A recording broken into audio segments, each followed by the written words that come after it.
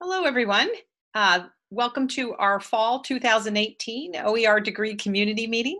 This is Una Daly from the Community College Consortium for OER, and thank you all for coming. Um, today's um, meeting is around um, the year two research highlights, which uh, Richard uh, will be sharing with us, and um, also, of course, our calendar. And then uh, we're going to hear from five of our grantee colleges on how they create student awareness strategies. So let me just start our slideshow. All right, there's the usual suspects. Um, I already gave you the agenda. Oh, and at the end, we are going to talk just a little bit about, um, you know, opportunities for conferences in the spring. There's still some that are open uh, for proposals, and um, then we're going to talk. Uh, uh, we're going to have. Um, well, I'm going to talk to you about case studies.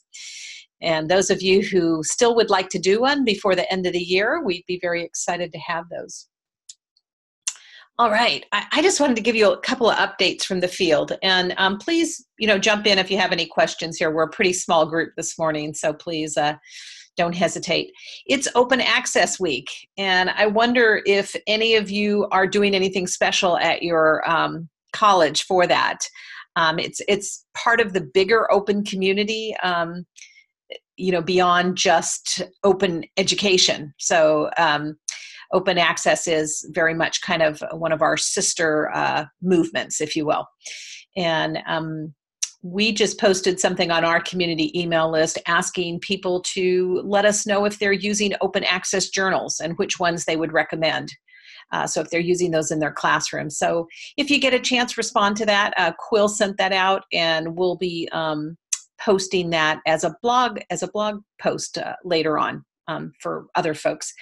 Um, I don't know how many of you um, were part of the Department of Ed um, open textbook pilot submissions, but that was announced. Um, and LibreText, which is based at UC Davis but has um, grantee participants around the country, did receive that award. Uh, and it was a single award, which was rather unusual. Uh, so they got the entire $5 million. Um, and the exciting thing, though, I think for um, those of us who aren't participating in that uh, that round is that there is another one that was just approved uh, for the same amount of money, and they plan on um, doing 20 allocations, which would be uh, up to 250,000 each for uh, 20 folks to participate. So we're waiting to hear more. I think we probably won't hear about that till the new year. Um, another interesting thing is the Open Textbook Network, OTN. I think some of you participate in that work, network. Uh, they launched a publishing curriculum. So, and there's a link here. Um, there's a Canvas course you can um, that anyone can go in and take a look at. Um, and um, if you've got faculty who are publishing on your campus or want to publish, it might be a great uh, thing to refer them to. And finally, there was many great sessions at the Open Ed conference uh, just two weeks ago. We were we were talking about that as people were coming in earlier. Um, we did a, um, a, Google sheet with the list of um, slides. I'm sorry, the list of presentations that were ATD based. Um, I have gone back to the website, the Open Ed conference website. I've had some trouble uh, retrieving the slides uh, from presentations, and I don't know if anyone else has had that. Um, they're probably in the process of fixing that. In the meanwhile, there um, we had somebody put out on our community email list please submit your slides and so we'll be um, we'll be consolidating that list of slides that were submitted and also creating a um, a big posting so people can go there as well uh, to see the uh, the slides that have been contributed through the commu- through the through the community college um, consortium but um, uh, interested in hearing if anyone else has um, ha- has had any luck getting um, access to those presentations from Open Ed. All right, I think I'm going to turn this over now to Fran and Richard. And Fran and Richard, I'll move the slides for you if that's okay, unless you would, I could give you control if you prefer. No, that's okay. Okay. Um, Hello, everybody. Um, so I just want to go over a couple of things for the rest of this calendar year. Um, so for the right now, I think you all have gotten communication from SRI about the faculty survey. Uh, so you should be getting uh, responses back to them as soon as you can. Um, next year in 2019, there'll be another data collection from SRI and RPK Group um, in February. And then later on in the month of February is our big dream conference. And um, you all got an email from me a while back asking you to submit proposals. I know that a lot of you did, so thank you. Uh, we're actually going through those proposals this week and next. So I'll get a chance to see um, all the grantees that sent things in. Um, the 20 by 20 presentations are short um, presentations. They're sort of like a PechaKucha style, um, engaging, just a couple of minutes per slide. Those presentations are due, uh, those proposals, I'm sorry, are due November 16th. So if you're interested in still coming to Dream and maybe doing a smaller quote unquote session, you can apply to do one of those. Um, on the 28th of February is when the final report will be due and I'm going to be sending out the template for the report before the holidays. So the holidays mean the winter, the winter holidays. So before Christmas and New Year, you'll get that template so you can have a good amount of time to complete it and uh, turn it back in the end of February. Um, May 30th through June 1st is going to be our very first teaching and learning summit. So we're excited about this, and OER is going to be one of the strands. We're thinking about having three strands or three tracks, and OER is going to be one of those. So if you're interested um, in knowing more about that, we'll be sending info about that out as well, as long, uh, along with the website to register and just learn more about the different areas that we're going to focus on. Um, and then in September of 2019 is when everything completely wraps up and the final research and evaluation report will be released. Um, you all know that we released the second year report. Richard's going to talk a little bit about that in a second um, at Open Ed, and that was super exciting because we got a lot of press traction, we got a lot of Twitter uh, traction. So thank you for everybody who was able to share out and read the report and participate in the data collection. Next slide. So one thing that I um, sent out when I sent this last report out to everybody is to ask you for all of your artifacts. So if there are artifacts that you've been collecting, things you've presented, um, any strategies, any PD materials, anything like that, any reports you've written, articles, if you can submit those things to this link, we'll email this back out to everyone as well. Um, but if you can submit them here, that'd be great because we want to have a repository of everything that you all have done and created in addition to the actual course content. Uh, so this is sort of the supplemental materials that you all have. Next slide. So as I mentioned, DREAM is coming out. So that's ATD's huge conference. It's the 15th anniversary. And since this will, 2019 will technically be the last year of the grant, we want to make sure that we highlight all the grantees. We're going to have a grantee panel, uh, and we would love to have participation from as many of you as possible.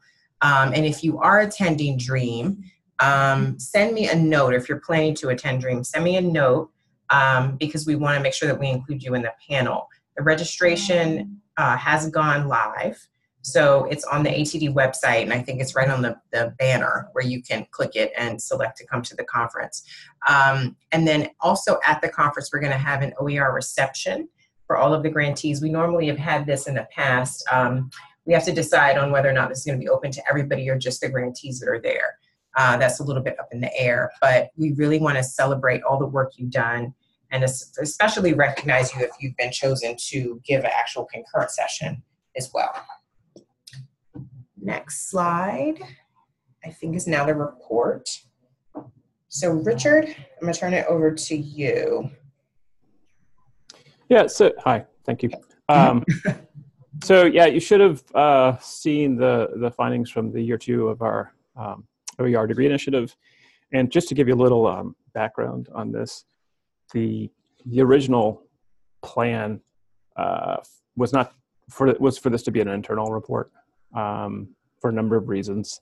Uh, but after you know reading the initial kind of uh, report from June um, and talking with with uh, the researchers at SRI and RPK group, um, we we thought it would be it's really important to to if we could um, to kind of release it publicly. So we spent, actually, we, decided very quickly around August to do that and, and pulled it together and updated the data, uh, which, uh, which I think um, helped make us a little bit more confident uh, about just the findings in the report. The, the data sets were a little bit more robust.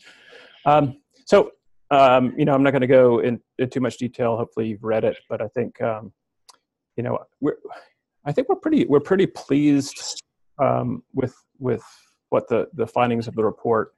Um, so so so I kind of have maybe put these things in two or three buckets. First is just um, the student impacts um, seem pretty positive to me. Um, when you look at how uh, the impact of these courses on on students, both from affordability standpoint, like how the uh, cost savings uh, impacted students and allowed them uh, additional access and or to uh, pay bills and things like that, particularly students who are Pell students or um, underrepresented uh, students. Um, it, was, it was pretty encouraging. And, and as, as well as the students' perceptions of OER, um, that was pretty encouraging too. It was pretty, it was pretty positive, positive. positive. I'm getting some, I'm echo. Getting some echo. Maybe folks can put yourself on mute. Um, and uh, the uh, the thing that maybe was of concern was um, students weren't aware of the OER courses for, for the most part. I see, I see why that is. Um, I think that might be a little different now. I think colleges are pr- promoting their courses a little bit more, but uh, many of the students didn't even know uh, until they were taking the survey that they were in, a, in an OER course. The other interesting uh, kind of bucket is around the costs. And uh, I think there's a, uh, you know, for me, a raised eyebrow when I saw uh, the uh, the cost for course development. Um, on the one hand, we, we've never had this kind of information before, this kind of detailed information on how much instructional time is involved when you calculate in faculty pay, percentage of their pay, and incentives and stipends and release time and, and all the things, all the kind of elements that, that are actually contributing to developing an OER course. Um, and and so the, the, the, costs were higher than than I anticipated, particularly with uh, with teams of, uh, of faculty. It was almost twice as much, which is uh, which is I think uh, even more surprising. Uh, but maybe not. Maybe it's not surprising. But again, these kind of initial findings are things that we can we can really address, really think about um, ways to help colleges really better kind of reduce those costs and be um, kind of more uh, maybe a more efficient or um, kind of approach it differently to, to lower those those costs. But but when you come look at the student outcomes compared to the costs, which you can do something about without affecting the student outcomes, I think again the report um, report was pretty positive. Um, and uh, I also uh, I also think it's really interesting that we now have, and we hadn't before, a way of calculating costs for um, for uh, you know these uh, kind of figuring out if you're an institution and you know a lot of institutions use hundred dollars uh, as a as a kind of a, a, marker for cost savings, but but uh, this report kind of gives a little bit more um, uh, detailed and you know maybe more complex way of of figuring out what um, what the uh, what the cost savings might be for your institution. So we're hoping to put out a, some kind of a widget of some sort to to help um, with uh, with uh, colleges do that. I, don't know what's on these slides. I'm just talking off the top of my head. So if there's is there another slide? Yeah, I think I talked about that. Um, see what the next one says. See if I missed anything get it move forward.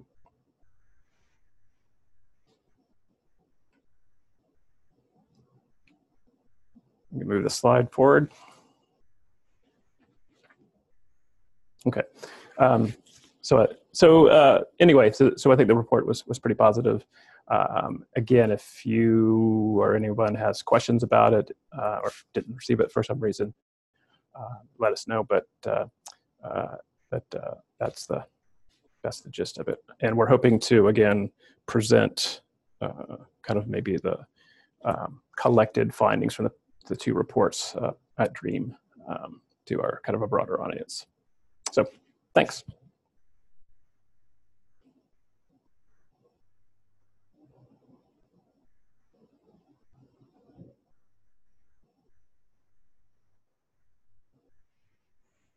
Turning it back over to you, Una.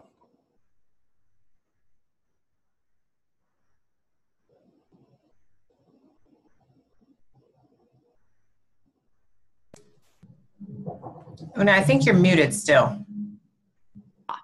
Thank you very much, Fran. Yeah, yeah there you go. that works a little better.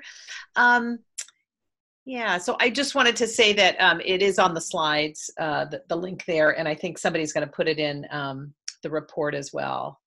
Um, and I, I just wanted to follow up on that last bullet on the slide about students working more than 20 hours per, per week are less likely to be aware of other OER courses at their campus. And I don't think that this is particularly surprising um, that those students are a little less connected to what's happening on campus, but it um, it's it's you know an opportunity to realize that those students need extra outreach and are really very much the students that we're trying to target with these OER degrees. So um, figuring out how to do that, I think, will be a challenge, but also a real positive.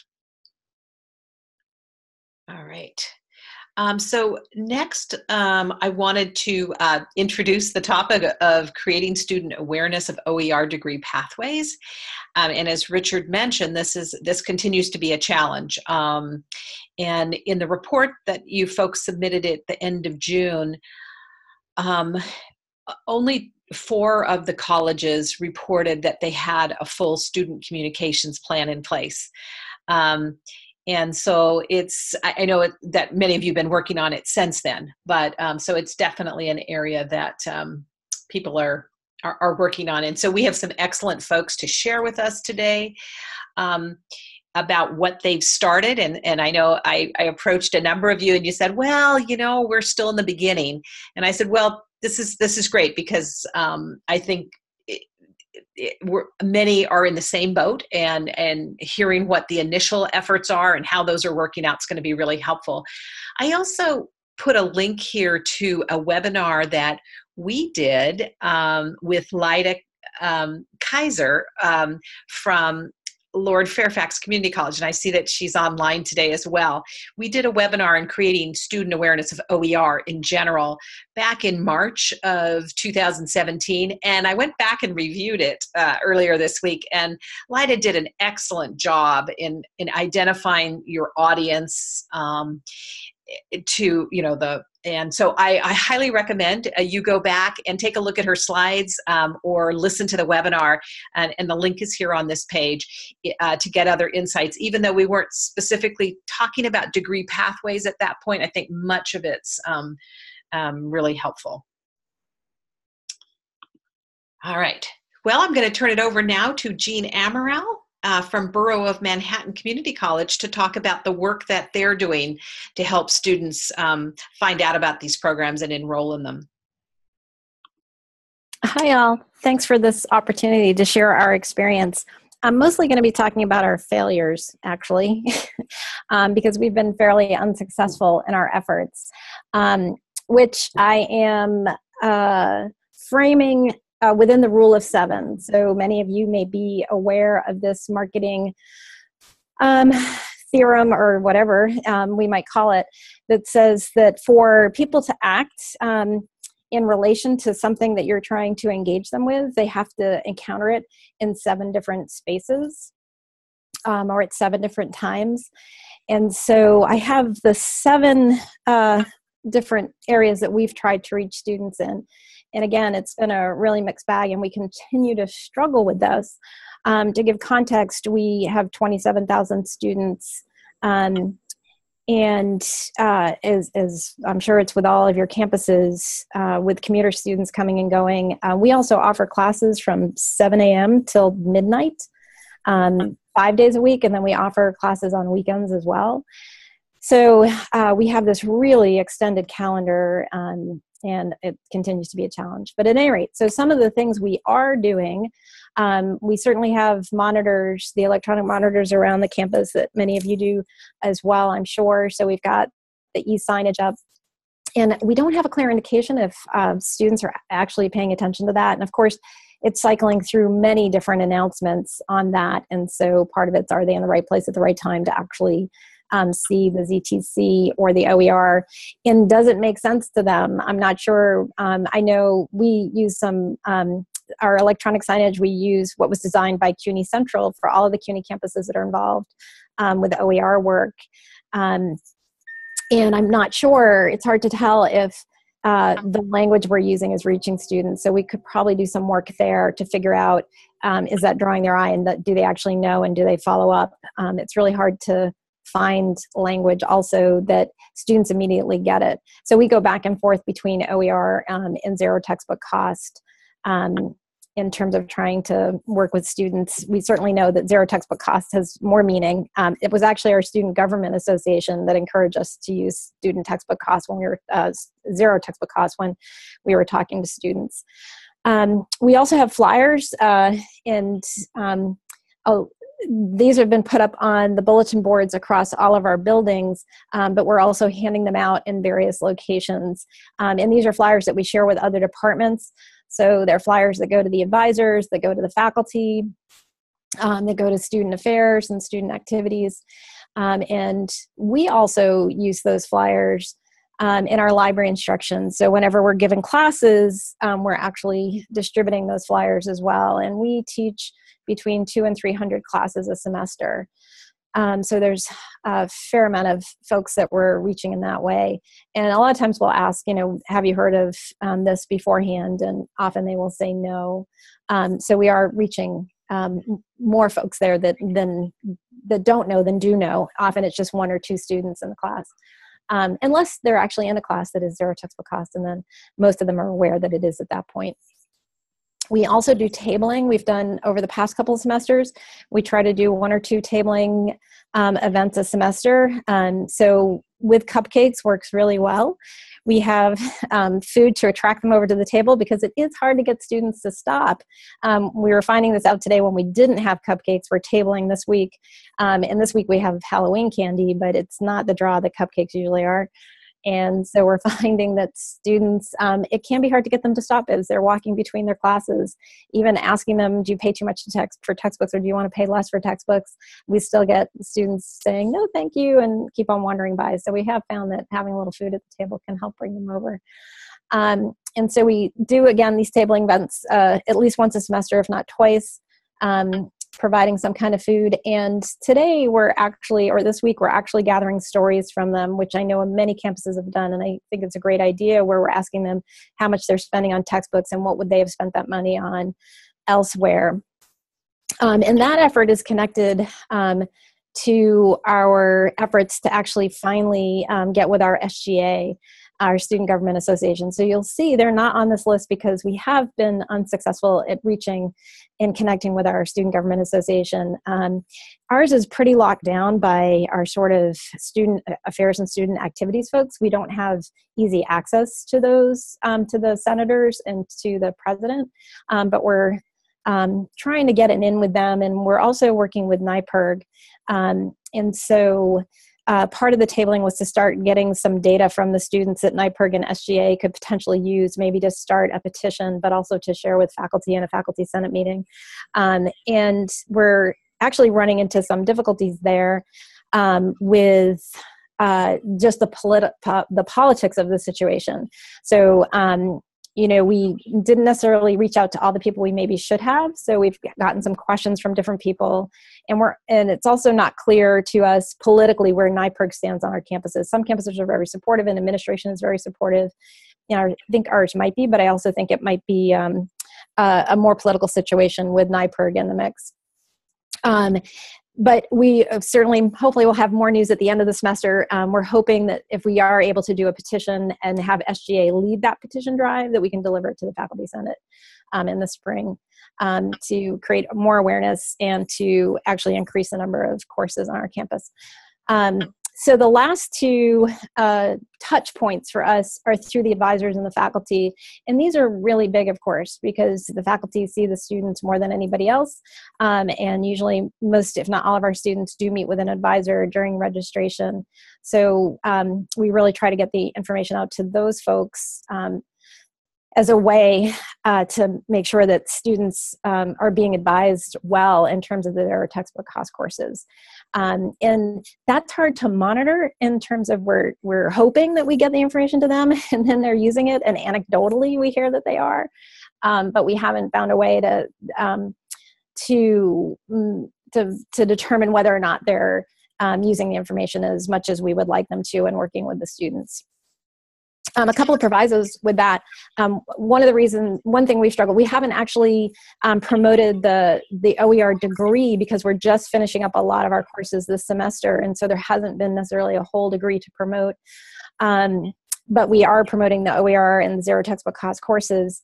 But one of the difficulties for us is we have over 4,000 sections of courses, and we're slowly approaching um, a, number that makes uh, sense and can be useful for students. Um, and I know we talked about this, or ATD talked about this in the first report of the thin pathways and not having enough sections of those general ed. So um, we're also a little nervous about you know talking to students about this program and then they go in and nothing fits their schedule so those folks who work more than 20 hours a week um, so we're trying to uh, while doing the outreach to students and making them aware, we're actually using that outreach as more of an opportunity to get them to do advocacy because we still don't feel we have enough sections that we're adequately adequately serving students and we feel like there might be a little false advertising in this for many of our students who try to sign up for a ZTC course um, and are unable to fit anything into their schedules. So um, our outreach to educate them about that is closely tied to advocacy and trying to advocate for more courses. So that's what BMCC has been up to. Wow. and Jean was one of those people who said, "You know, I'm not sure I have anything to say."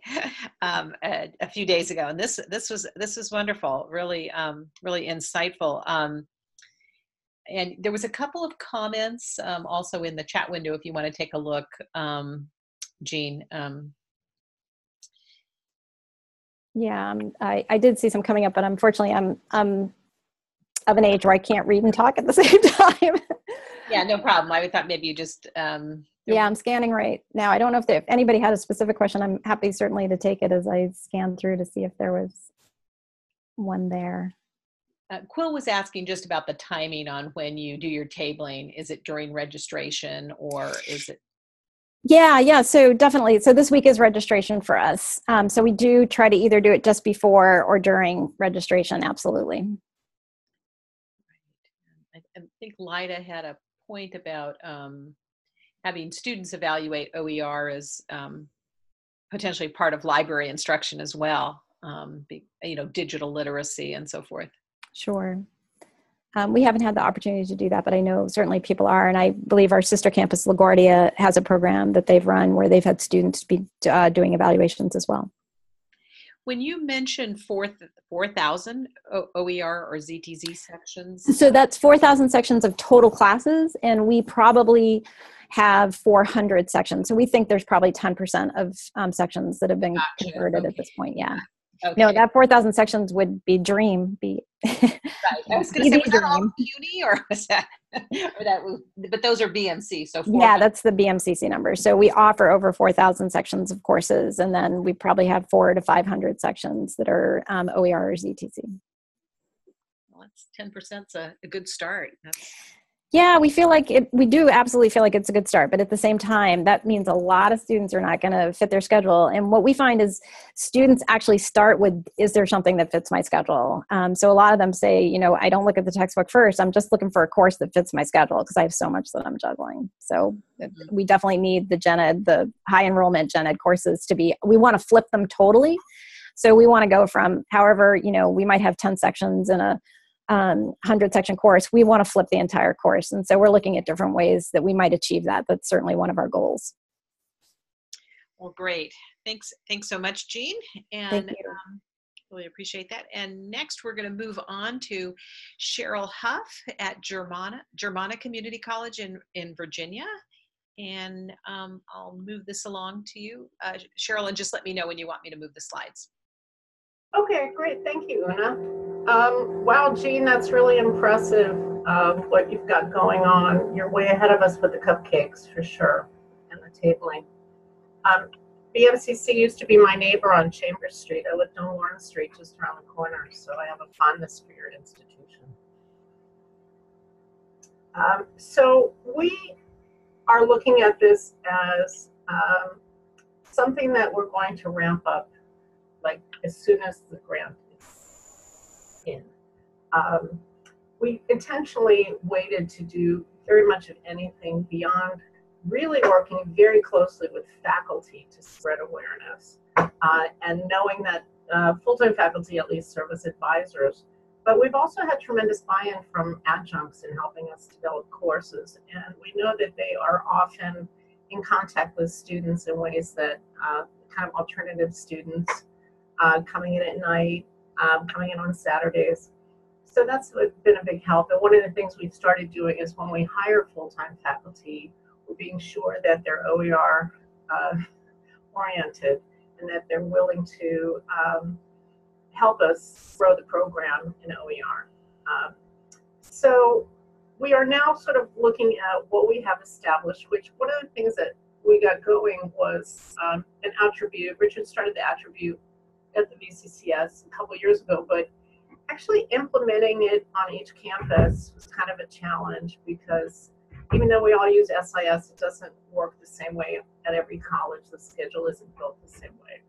Um, we ended up with uh, a system that's not beautiful. They can't search OER classes from the first screen. It takes a little bit of a click, and you can see click here to search classes they have to type in OER. I know that's that does not sound that challenging, but anytime you have to ask students to go an extra step in terms of registration, especially if they're new students or they're not working directly with their advisor.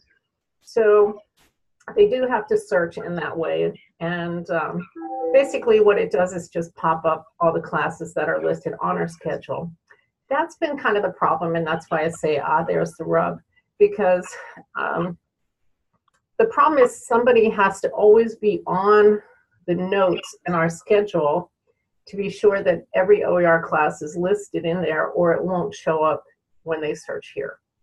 Um, and part of the problem, if any of you have been department chairs or involved in scheduling, um, things change at the very last minute. Staffing changes. So you might have one instructor doing English 111 completely OER, but then that instructor gets switched to a different section, a book's been ordered for that section.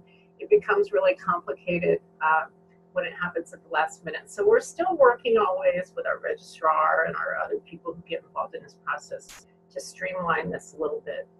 But we do, the good news is we do have the access to uh, this, the search capability. I think go to the next slide. Right, so we we are kind of gearing up for this. We've had busy years at Germanna because we have a new president. She's been here 15 months. We just had her very busy um, inauguration, so the marketing staff was pretty much out of the loop for a while. Um, we also just finished a SACS review and the QEP process happening. We're hiring a new uh, CETL director uh, but their primary focus is going to be on the QEP for the next five years in problem-based learning.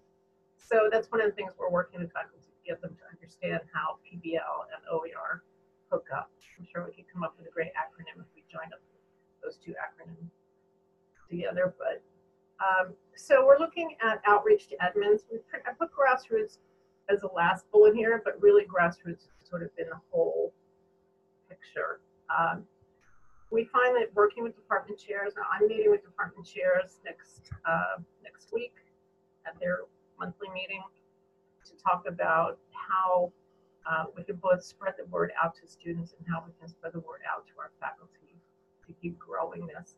Now that we have this uh, really tidy groundswell of two degrees, two, two Z degrees, science and business, um, we feel like we can start marketing them as degrees. But our admins have been very, very busy with SACs and a new president and a lot of restructuring. Um, the OER committee got put on hold, which was a little sad. Um, but so we're kind of looking at it as finding ways to bring the OER out to everybody who's a stakeholder. Um, and I like the idea of the table with cupcakes because one of the things we haven't done much is to work with students, but the timing wasn't quite right.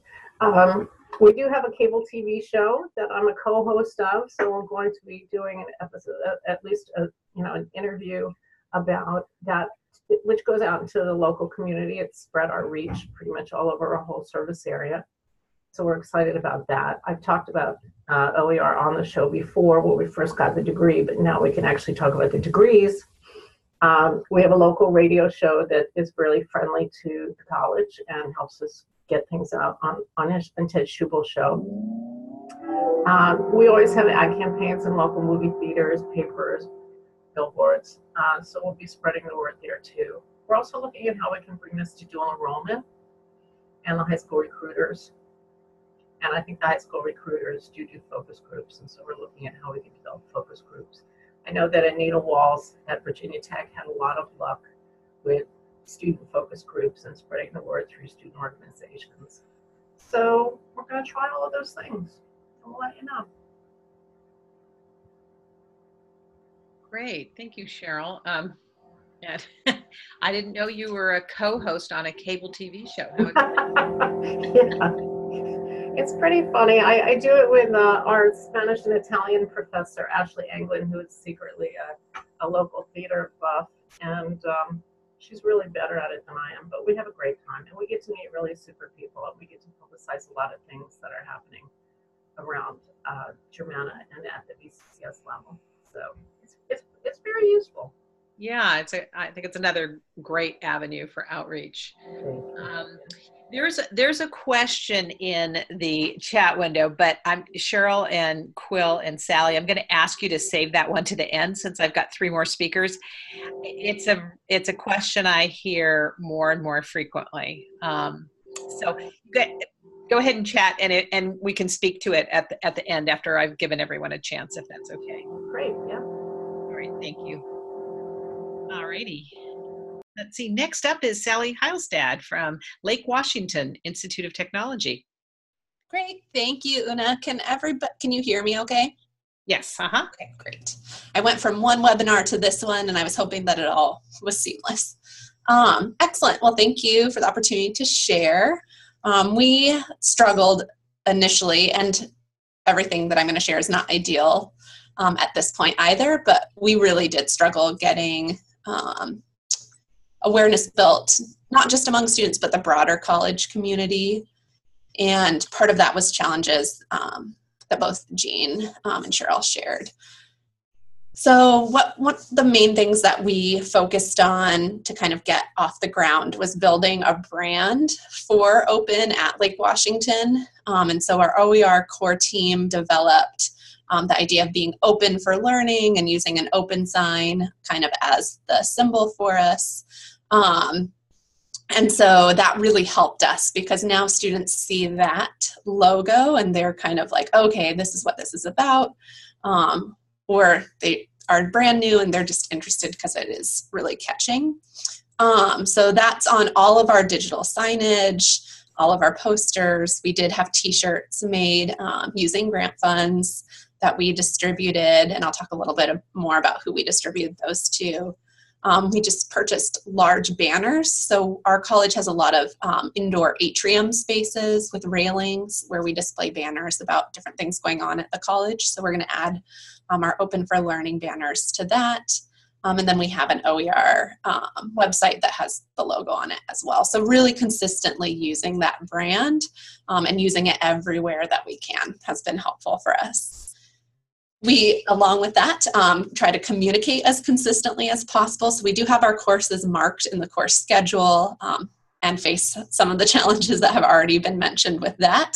Um, but I do send out an email to all students and all student services um, when the schedule for the following quarter goes live, when students are getting ready to register, that specifically lists all of the OER courses.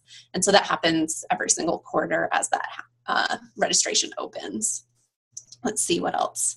Um, the digital signage corresponds with that. So I love the idea of adding tabling during registration. So thank you for that idea. Um, so that'll just enhance kind of that timing.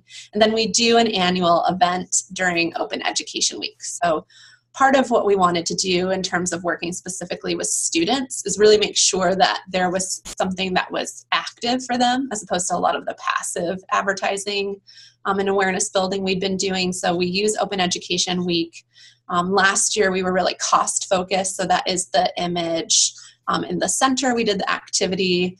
Um, similar to what Jean was talking about, about what students would have used money for. Um, we had a interactive activity where they could share how much they spent on books, um, just so we could kind of get a gauge as a college as well of where our students were at and spending. And then this year for that, we're actually going to have an open um, pedagogy based project. So we want to develop an open student guide of the college. So we'll have a project where students can take photos um, with their phone and submit those and write about the resources they use on campus. And then the last part is engaging connectors. So, again, mentioned previously, and I think um, that reiteration is because it is really powerful.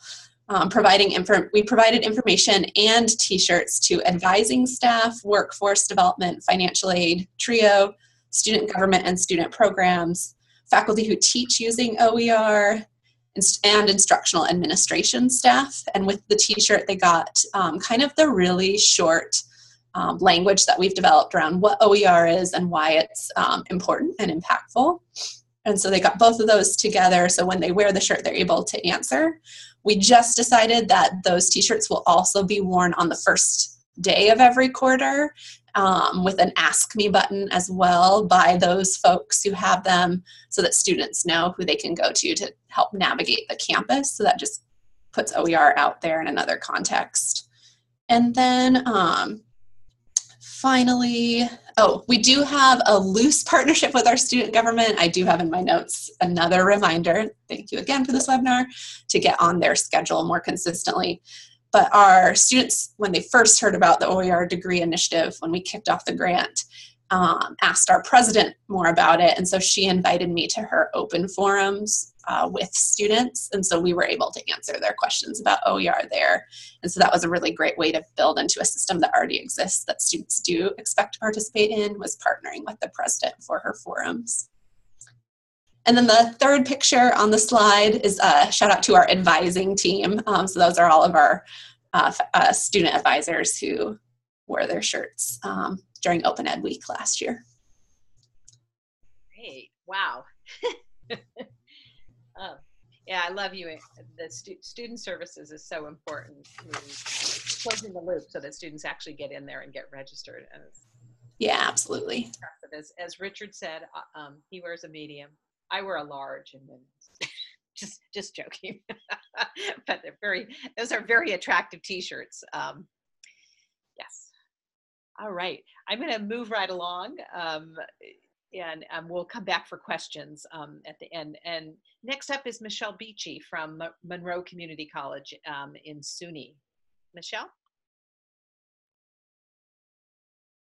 Let's see, I'm not sure if I saw Michelle. Michelle, are you are you on with us today? Um, you might need to unmute yourself. Here she is. Um, I'm not hearing you, Michelle. Maybe you need to turn up your microphone. Are you able to hear me now? Yes, we are. Uh-huh. Okay. I guess it's my headphones are not working.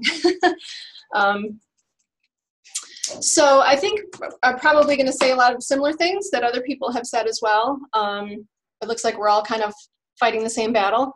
Um, and generally at Monroe, we've been uh, marketing more of our courses for the same reason as, as uh, I think others have, that all of our, our degree pathway courses were not in place at the time um, that we would have been marketing. We've kind of learned now that we're get gearing up towards the end of the program, what would have been great to know at the beginning to, to do that marketing ahead of time.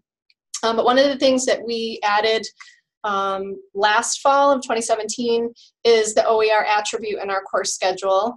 Um, so you can see that we have a, a very easy to find um, click box. Students can just check that and um, it'll take them right to whatever courses uh, are offered via uh, OER.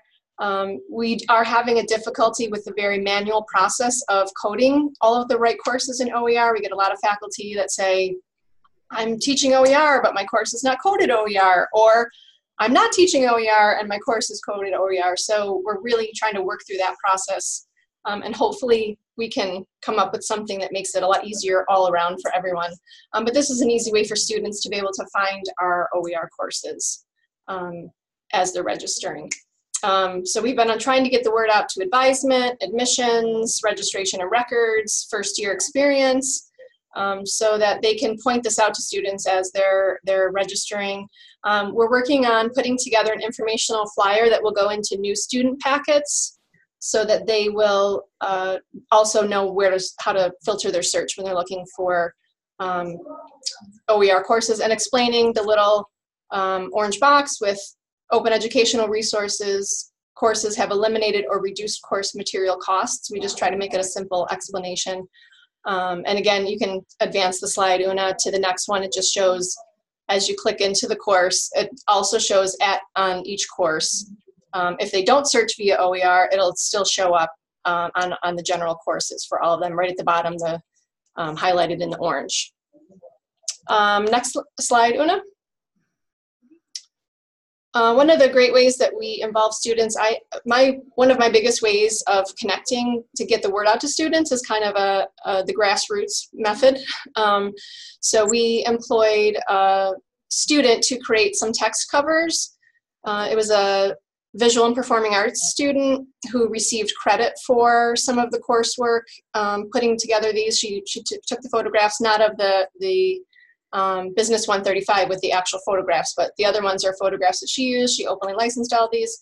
Um, and this was a way to get out to um, the course. We had a professor that said, hey, we, have got some opportunities for you to get some real live work, and we're using open educational resources, explaining what that means. Um, the student openly licensed all of these. Um, so it was a great way to get some, some word out generally to students who may not have, have heard about that otherwise. Um, and we were actually able to use some of our funds to pay her to do some of these covers um, for the second half of the year. She's since graduated, so we're now shopping for another student.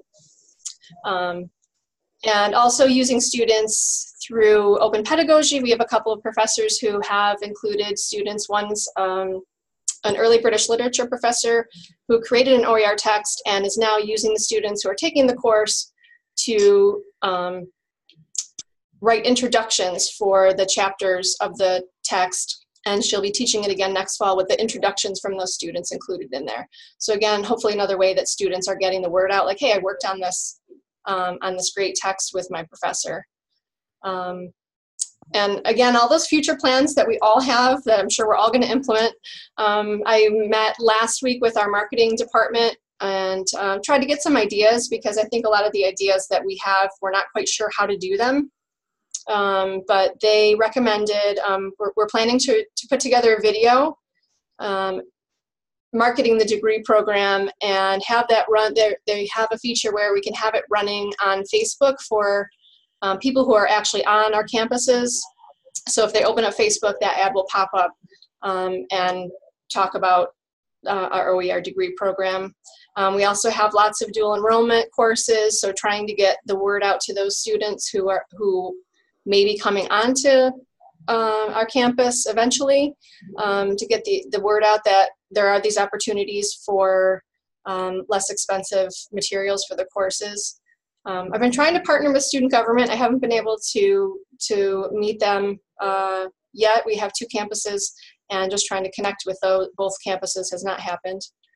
Um, one of our other marketing ideas will be also, someone else talked about putting a, a printed banner. We've got some central areas areas on campus where we can get that up.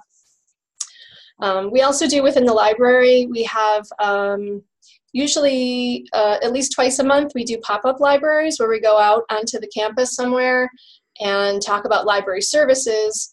And when we do that, um, I usually try to talk up um, OER and what that means for students. Um, we usually try to draw them over with something fun again. We haven't tried cupcakes. We may try that. We usually do candy. Um, we also have a 3D printer that uh, is kind of mobile. So when that comes with us, it's great to just draw students over and then we start talking about whatever. And, you know, we get the question about, oh, do you know what OER is? Have you seen any classes? Do you know anyone who's taking any of those classes? Um, and again, we'll be, we'll be trying to get some you know, little tchotchkes together, little stress balls, pencils, um, t-shirts are, are, are, a great idea as well. Um, and I did with some of the funds we have from ATD, I purchased a button maker um, and students love using the button maker to make their own buttons. Um, so we printed up some uh, OER uh, themed uh, buttons and let students print their own up and they're all excited to take them and wear them around campus. Um, some free advertising there. Um, and we're looking to put together an easy to navigate um, LibGuide with all of our courses listed so that students can just go to that and see them all listed, not necessarily on the course schedule, but um, in a way that they can just search. They can even click in and see what the, what the materials are um, easily and hopefully put that out in some of our, um, our advertising materials. So that is about what we've been up to here at um, Monroe. Very exciting. I love that uh, pop-up library. I hadn't heard that before. Fun. Um, and Edie mentions that they're doing OER pop sockets. What are those, um, Edie? Uh, it looks like Lida knows what they are, but um, uh, Edie, do you have a microphone? Or Lida? The round things you put on the back of the phone. Oh, I got you. I didn't know they were called pop sockets. yes, I think I have seen yours, Kelsey. I know I'm of a different generation. My children have those. They explained it to me. It's so that you can watch videos on your phone. That's very fun. All right, I want to move on to um, Cheryl uh, Kashida, who's professor at uh, Santa Ana College and also the distance education and OER coordinator there. Cheryl Thank you, Una. Um, I am so busy writing down all of these ideas because I really didn't think that we had any new ones. Um, so let me share with you what we're doing. Um, I really love the idea of the cover of the book. I'm going to talk with one of our art class instructors and see if they can help us. Um, so talking about marketing possibilities at Santa Ana, what we did with some of our, our first ATD funds was we created the t-shirts on the left, the red t-shirts. And these have kind of been a hit and they're identifiable for, um, we gave them out when we held an OER summit. And all of our faculty that uh, use OER got a t-shirt.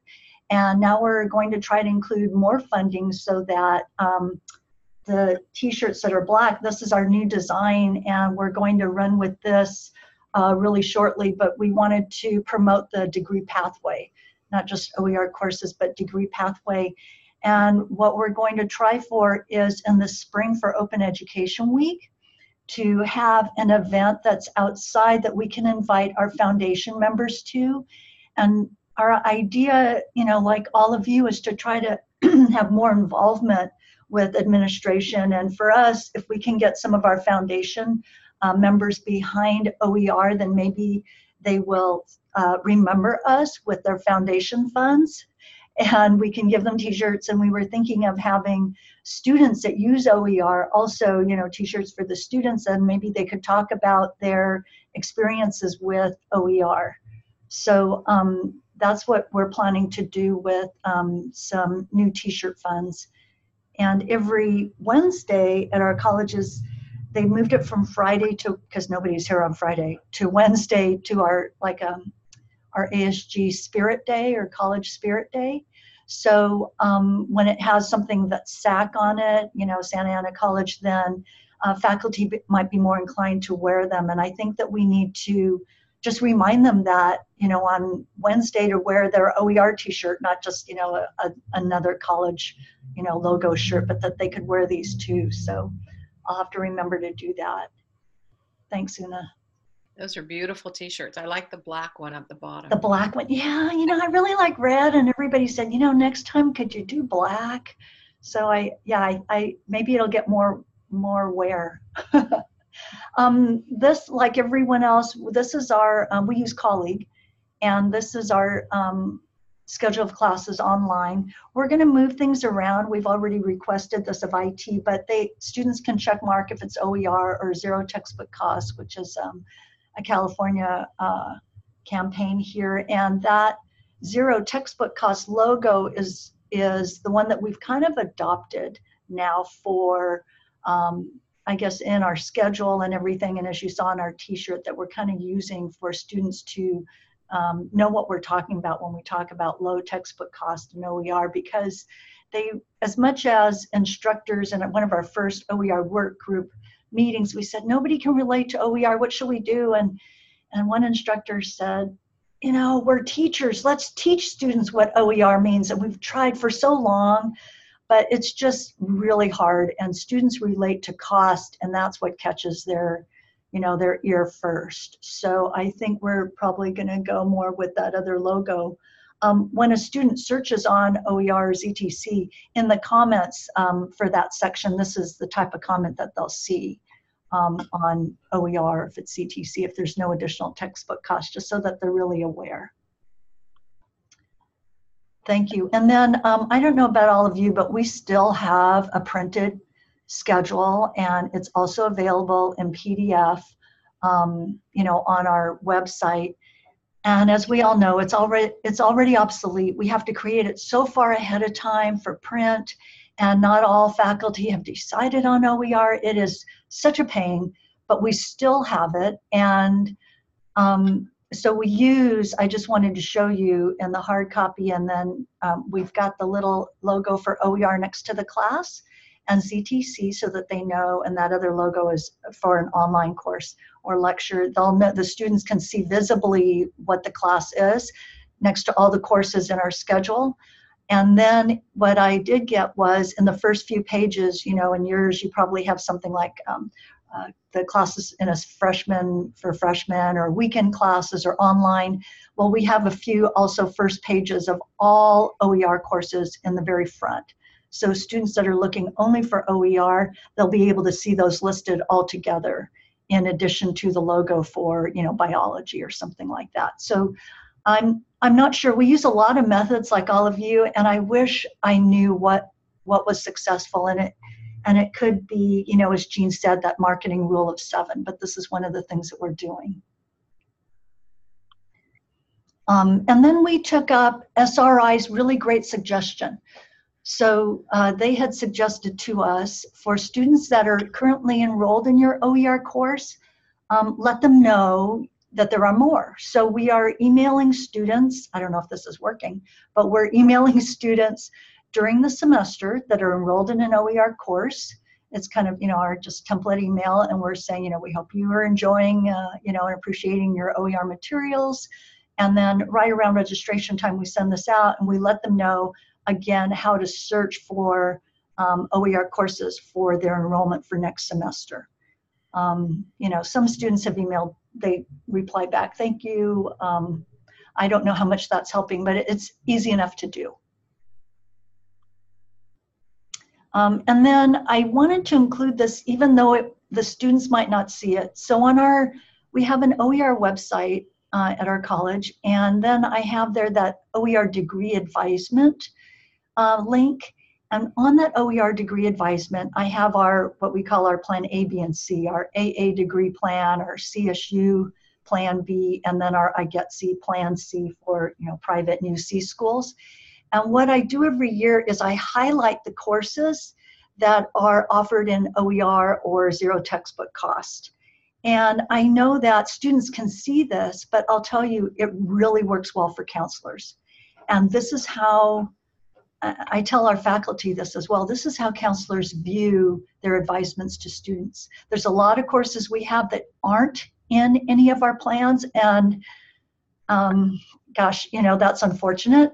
But when I talk with chairs or departments that are saying, oh, we're low enrollment, we're not this, we're not that, I tell them, you know what? If you are, if whatever course it is is in the plan, then if it's OER, that'll be one of the courses that the counselors will recognize and makes it stand out in terms of a course for advisement, especially for students that really need it. So um, I think that this is one of our areas that seems to be working well, and I go and talk to counseling every so often so that they're aware of this. Is that all I have, Una? I think you had one last one. Oh, one. more. Okay. Um, we're really fortunate at SAC to have um, a nationally recognized college newspaper, and our newspaper is the El Don. So uh, every year they have lots of little reporters running around, and and sometimes they can be a little intrusive, and they're trying to dig and find dirt and things like that. But uh, generally speaking, when they come to me and, and ask if they can do a, an article on OER, um, I happily make a lot of time for them. And so usually once a year, once every, you know, whatever, year and a half, there's an article in our school newspaper about OER. And um, they usually, and I can usually give them some student quotes, and I usually also refer them to a faculty member to interview. And then we also have our, our student posters as well. So um, in a nutshell, that's kind of what we're doing. You know, we table as well and send the flyers out and all the freshmen, you know, incoming freshmen, high school uh, packets and and everything. Um, you know, when uh, somebody mentioned tabling at welcome events, I I don't know if they just need more tables, but we get asked for OER to table at like almost every event, which is really great. But I'm going to have to bring cupcakes and much more candy but even for like Earth Day, they'll think to ask um, OER to table at Earth Day because you know we're not wasting paper and things like that. So we get we get asked to table a lot, but I think I'll have to have uh, cupcakes to get more people to come to our table. So that's about all we're doing at SAC. Well, it sounds like plenty, Shirley. Thank you. Um, I just wanted to uh, run through a couple of really quick slides and then we'll just open this up for anyone who can stay. And I'm sorry we ran a little over the hour. Um, these are the these are conferences that are coming up this month. I think you're probably aware of those and next month. Um, I wanted to mention that there's still a couple of things that are open uh, for the spring if you're looking at presenting. Uh, Fran mentioned Dream 2019, the 2020, uh, the short presentations are available. Also, the American Association of Community Colleges, the annual convention. This is a huge one. It's in Orlando, Florida, uh, April 13th through 16th. And um, the submission deadline is next uh, Wednesday. It's Halloween. And Fran and Richard would like to say if anyone is submitting to that, they'd love to work with you on that. Um, and um, so please do do uh, check in with them if you're planning to submit for that conference. And it is a it's a great conference. Um, I've I've been at several times, um, and there's um, there's a few other events coming up as well. If you look at the red sign, and this also is available. The, the URL is up at the top there um, if you want to check this out after the meeting. Um, case studies, I mentioned this at the beginning. I'd like to mention it again. We have 11 case studies from the 38 colleges at this point.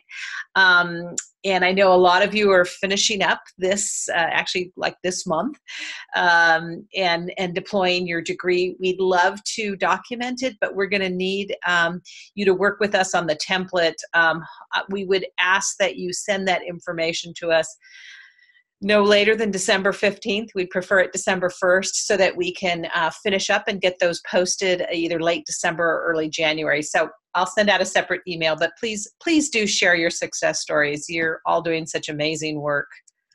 Um, uh, I'm not, we don't really have time to go over this. I think many of you are on our list. You know about our our webinars. Um, I did want to, want to mention because there sounds like there's a, a lot of interest on the open pedagogy. We will have open pedagogy will be the topic of the November 14th CCCOER webinar. So please join us or or watch the recording. Our next um, community meeting, I think we're going to be moving that. We originally had it scheduled for Wednesday, November 28th. I think we're going to move it to the first week of December. We'll be in touch over email. I apologize for that. Um, things are just kind of in flux right now. And I think we're back to uh, any open questions. Um, and I, I, know I deferred the question that came up earlier um, about what do you do when a class has been listed as an OER class or a zero textbook cost class in your in your class schedule online, and then for whatever reason the teacher changes. Um, could be a full-time instructor bumps somebody out and they are allowed to make the decision about what the materials are that are used and they select to not use an open uh, material. And that has been uh, something that's uh, been generating some discussion on a number of lists. And I don't, uh, it's, I've heard a couple of different um, responses to that. And I, I, I don't want to, I want to let other people um, share if they would like to about that. And you can turn on your microphone or um, whatever works.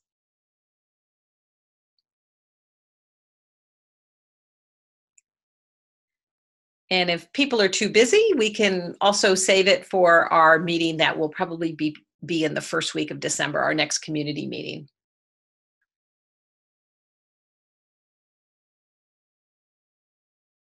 I'm getting the sense that folks may need to move on to the next activity of their day. So I want to thank um, all of you for coming, but especially for our presenters. I have two pages of notes I took on the amazing things that uh, everyone suggested today. And um, I, this is a wonderful resource. Um, I hope that our community continue to uh, work together on um, the actual deployment and um, of the OER degrees now that almost everyone is finished with their degree. So thanks again, and uh, this will be posted for your colleagues who didn't make it uh, probably um, by the end of today or tomorrow. Thank you, Michelle, for allowing me to twist your arm, and um, I hope you all have a great rest of your day.